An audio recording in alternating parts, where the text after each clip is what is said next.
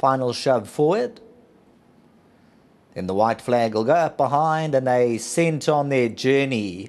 Rotunda gets a flick or two, the grey, through off the right-hand side to improve position. Wedding Bliss is right there, but there goes the grey Rotunda. Gets across and now needs to settle. Angel of Justice is moving around. Eye catching's on the inside. They're absolutely crawling going to the 1600. Siege of Orleans is three around them, but only two lengths off. Isla Marauder, they really bunched up. Chelsea Flower, Heartsease and Hydrangea, only five lengths first to last.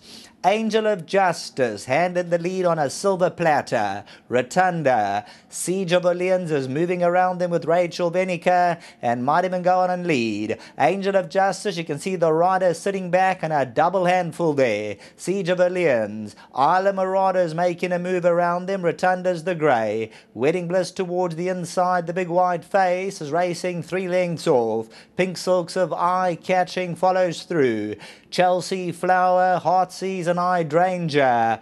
Isla Marauders making a move now. Muzi Yeni's put the button go. And there goes Isla Marauder past the 800, a length and a half extending. Angel of Justice, second, Siege of Orleans. Wedding Bliss gets a taste of the bit towards the inside. The grey Rotunda is going to wait her turn. Chelsea Flowers, they start to stack up. Homeward bound, 450 to go. Isla Marauder, will that be a winning move she made? Goes clear by two and a half. Eye catching the pink silks. Chelsea Flower down the middle. The grey Rotunda extreme outside. Three lengths to make up. Chelsea Flowers running a big race coming to the 200. Chelsea Flower puts the head in front. That's the one to beat. Wedding Bliss on the insides running on. Rotunda on the outside. Chelsea Flower not for the catching. Chelsea Flower won a tad cozily. Wedding Bliss second. Rotunda third and eye catching ran fourth.